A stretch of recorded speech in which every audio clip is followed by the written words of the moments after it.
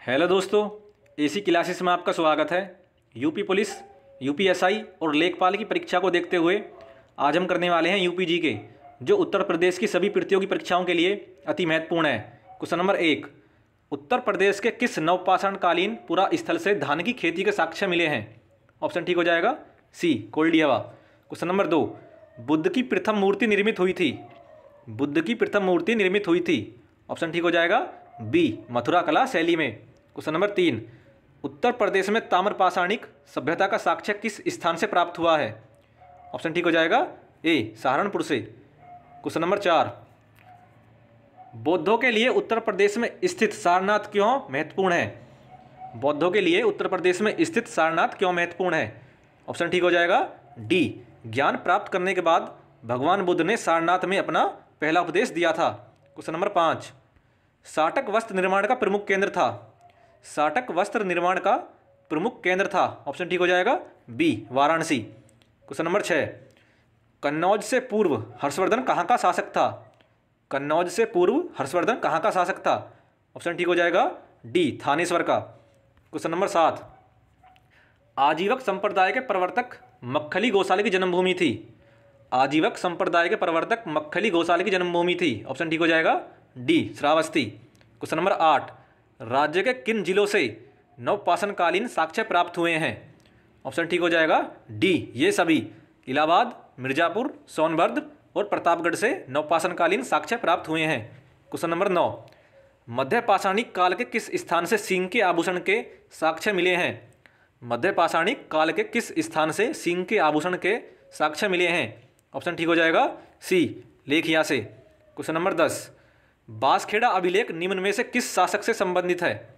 बासखेड़ा अभिलेख निम्न में से किस शासक से संबंधित है? ऑप्शन ठीक हो जाएगा बी हर्षवर्धन से। क्वेश्चन नंबर ग्यारह, रूहेल खंड का संस्थापक कौन था? रूहेल खंड का संस्थापक कौन था? ऑप्शन ठीक हो जाएगा A Ali Mohammad Khan. Question number बारह, अयोध्या अभिलेख किसने प्रचलित करवाया था? अयोध्या अभिलेख किसने प्रचलित कराया था? ऑप्शन ठीक हो जाएगा डी धनदेव ने। क्वेश्चन नंबर तेरह चेदी महाजनपद उत्तर प्रदेश के किस ज़िले में स्थित था? चेदी महाजनपद उत्तर प्रदेश के किस ज़िले में स्थित था? ऑप्शन ठीक हो जाएगा बी, बांदा। क्वेश्चन नंबर चौदह जैन धर्म के तेईसवें तीर्थंकर पार्श्वनाथ का जन्म राज्य के किस ज़िले में हुआ था? ऑप्शन ठीक हो जाएगा बी, वाराणसी। क्वेश्चन नंबर पंद्रह।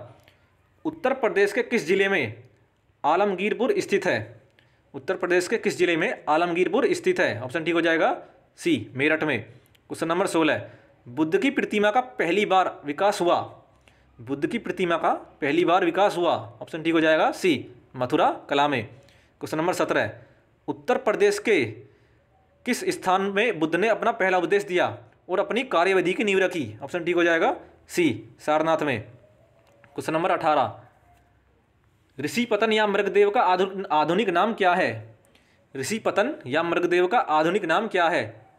ऑप्शन ठीक हो जाएगा डी, सारनाथ। क्वेश्चन नंबर उन्नीस। सूची, एक को सूची दो में मिलाइए। अंतरजी खेड़ा। इसका पुराना नाम है पिलोसान। ऑप्शन ठीक हो जाएगा दो। अहिन छत्र। इसका संबंध है पाँच चाल से। सी, आलमगीरपुर। इसका संबंध है सैंधव सभ्यता से। कन्नौज। इसका पुराना नाम है नगर महोदय श्री। क्वेश्चन नंबर बीस। कुशीनगर किस गणराज्य की राजधानी थी? कुशीनगर किस गणराज्य की राजधानी थी?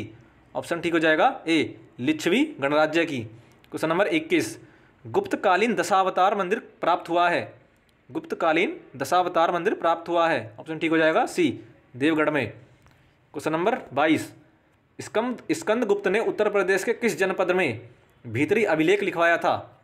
ऑप्शन ठीक हो जाएगा सी, गाजीपुर में। क्वेश्चन नंबर तेईस अशोक स्तंभ पर हरिसेन द्वारा रचित समुद्रगुप्त का परिस्थिति लेख प्राप्त हुआ है। ऑप्शन ठीक हो जाएगा बी, प्रयाग में। क्वेश्चन नंबर चौबीस। उत्तर प्रदेश के किस बुद्ध ने अपना पहला उपदेश दिया और अपनी कार्य कार्यविधि की नींव रखी? ऑप्शन ठीक हो जाएगा सी, सारनाथ में। क्वेश्चन नंबर पच्चीस। निम्न में किन स्थानों की तीर्थ यात्रा अशोक ने नहीं की? निम्न में किन स्थानों की तीर्थ यात्रा अशोक ने नहीं की? ऑप्शन ठीक हो जाएगा हो जाएगा A, Ayodhya, Haridwar. Question number छब्बीस। अयोध्या का प्राचीन नाम था। अयोध्या का प्राचीन नाम नाम था। ऑप्शन ठीक हो जाएगा बी, अयाजसा। क्वेश्चन नंबर सत्रह मथुरा किस जनपद की राजधानी थी? मथुरा किस महाजनपद की राजधानी थी? ऑप्शन ठीक हो जाएगा सी, सूरसेन महाजनपद की। क्वेश्चन नंबर अट्ठाईस। श्रावस्ती किस महाजनपद की राजधानी थी? श्रावस्ती किस महाजनपद की राजधानी थी? ऑप्शन ठीक हो जाएगा सी कौशल महाजनपद की। क्वेश्चन नंबर उनतीस। हर्षवर्धन द्वारा उत्तर प्रदेश के किन किन स्थानों पर बौद्ध सम्मेलन का आयोजन किया गया? हर्षवर्धन द्वारा उत्तर प्रदेश के किन किन स्थानों पर बौद्ध सम्मेलनों का आयोजन किया गया? ऑप्शन ठीक हो जाएगा। प्रयागराज और कन्नौज में। क्वेश्चन नंबर तीस। निम्न में से सिंधु सभ्यता से संबंधित कौन कौन से केंद्र उत्तर प्रदेश में स्थित हैं? निम्न में से सिंधु सभ्यता से संबंधित कौन कौन से केंद्र उत्तर प्रदेश में स्थित है? ऑप्शन ठीक हो जाएगा। डी। आलमगीरपुर और हुलास धन्यवाद।